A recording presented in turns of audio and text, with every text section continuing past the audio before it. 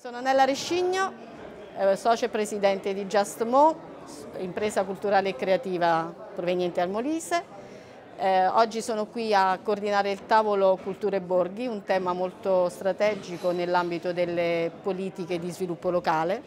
Mi aspetto dalla giornata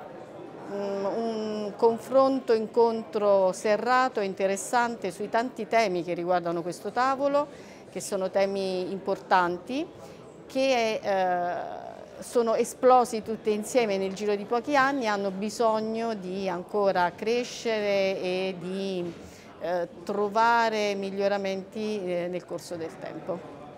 Il modello cooperativo ritengo che sia il modello di impresa nell'ambito specifico della, della cultura, mm, il modello diciamo, più rispondente alle esigenze